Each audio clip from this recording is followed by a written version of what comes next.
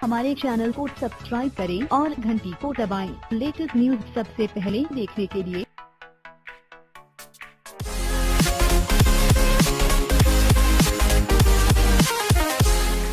इस स्कूटर को एक बार चार्ज करने के पश्चात पैंसठ किलोमीटर तक चलाया जा सकता है। कंपनी ने इस स्कूटर में 1000 वॉट पावरफुल बैटरी लगाई है, जो चार्ज होने में 7 सेकंड 8 घंटे का समय लेती है। पेट्रोल, डीजल की बढ़ती कीमतें और प्रदूषण पर रोक लगाने के लिए ऑटोमोबाइल कंपनियाँ इलेक्ट्रिक वाहनों पर ज़्यादा ध्यान दे रही है। इसी बीच हाल ही में एक कंपनी ने अपना एक इलेक्ट्रिक स्कूटर को मार्केट में उतरा है, जिसका नाम एवनिस्टा है। इसकी कीमत चौबीस हज़ार पाँच सौ रखी गई है।